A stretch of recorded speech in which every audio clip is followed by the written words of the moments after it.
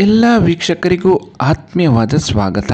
ಪರಶುರಾಮ ಸೃಷ್ಟಿಯ ನಾಗಜಿಡೆ ದೈವ ನಡೆಯ ಈ ತುಳುನಾಡ ಮಣ್ಣಿನಲ್ಲಿ ಸಾವಿರದ ಒಂದು ದೈವಗಳು ನೆಲೆಯಾಗಿದ್ದಾರೆ. ಆ ದೈವಗಳಲ್ಲಿ ಕಾರಣಿಕದ ದೈವವಾಗಿರುವ ರಕ್ತೇಶ್ವರಿ ಅಂದರೆ ಲೆಕ್ಕಿಸಿರಿ ದೈವದ ಬಗ್ಗೆ ಇವತ್ತಿನ ವಿಡಿಯೋದಲ್ಲಿ ನಾನು ನಿಮಗೆ ತಿಳಿಸಿಕೊಡುತ್ತಿದ್ದೇನೆ. ದಯವಿಟ್ಟು ಈ ವಿಡಿಯೋವನ್ನು ಕೊನೆಯವರೆಗೂ ನೋಡಿ. ನಿಮ್ಮ ಅನಿಸಿಕೆಗಳನ್ನು ಕಾಮೆಂಟ್ಸ್ ಮೂಲಕ ನಮಗೆ ತಿಳಿಸಿ. ಎಲ್ಲಿ ಅಚ್ಚ ಹಸಿರು ತುಂಬಿರುತ್ತದೆಯೋ ಅಲ್ಲಿ ರಕ್ತೇಶ್ವರಿ ತಾನಾಗಿಯೇ ಬಂದು ನೆಲೆ ನಿಲ್ಲುತ್ತಾಳೆ ಎನ್ನುವುದು ತುಳುವರ ನಂಬಿಕೆ. ಭೂಮಿ ತೂಕದ ಈ ದೈವ ಗರಿಕೆ ಹುಲ್ಲು ಹುಟ್ಟುವಾಗಲೇ ಉದಿಸಿರುವ ದೈವ ರಕ್ತೇಶ್ವರಿ ದೈವ ಎನ್ನುವ ನಂಬಿಕೆ ಕೂಡ ಇದೆ. ಅನಾದಿ ಕಾಲದಿಂದಲೂ ಆರಾಧಿಸಿಕೊಂಡು ಬಂದಿರುವ ಆದಿಮೂಲ ದೈವವಾಗಿರುವ ಈ ದೈವ ಪ್ರೀತಿ ವಾತ್ಸಲ್ಯದಲ್ಲಿ ತಾಯಿಯಾಗಿ ಶೌರ್ಯದಲ್ಲಿ ಗಂಡು ಶಕ್ತಿಯನ್ನು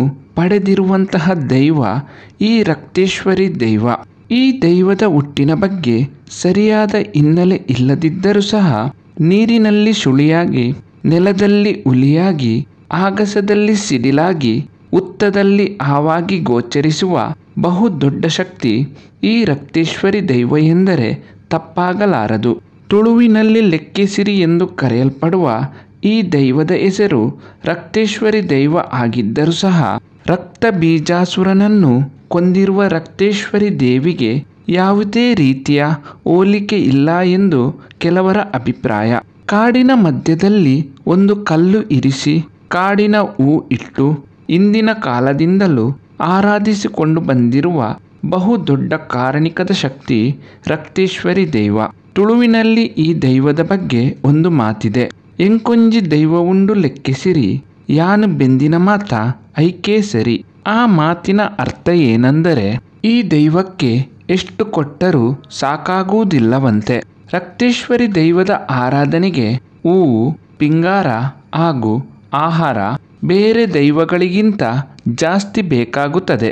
ಭೂಮಿ ಸೃಷ್ಟಿಯಾಗುವಾಗ ಹುಟ್ಟಿರುವ ಈ ದೈವಕ್ಕೆ ಎಷ್ಟು ಕೊಟ್ಟರೂ ಕಡಿಮೆಯಾಗುತ್ತದೆ ಎನ್ನುವುದು ತುಳುವರ ನಂಬಿಕೆ.